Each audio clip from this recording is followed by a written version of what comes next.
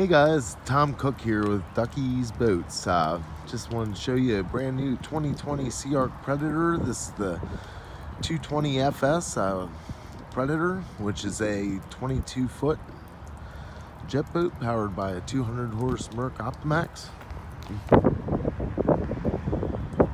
So this boat does have a uh, Minn Kota Terrova 80 pound bow mount fuel tank, anchor locker, bow storage with a seat pedestal, center console with a 13 gallon bait well, courtesy light, blacked out grab rail, Merc Smartcraft gauge, speedometer, fuel gauge. Uh, we installed a stereo here. We have two speakers, one on each side of the console.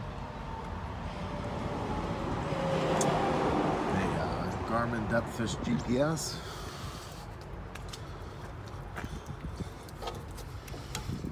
Another feature that's real nice. This swim ladder we installed. Predator also has dual stainless steel drain plugs. Transducer.